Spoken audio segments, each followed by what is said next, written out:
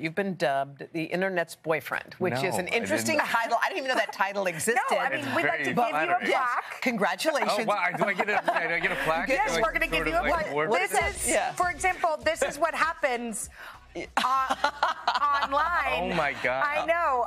What? Okay, this is so I'm so unaware of this. are, you That's an, really sweet. are you an online person? Do you? I am online, but I'm, uh, this looks. I mean, Not, you're not this online in this Instagram. realm.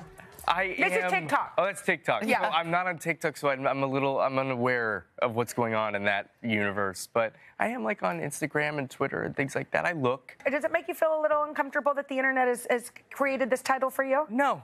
That Does doesn't make me uncomfortable. No? I'm Good. flattered by Well- it. I'm happy to, to hear that anybody's even saying anything nice.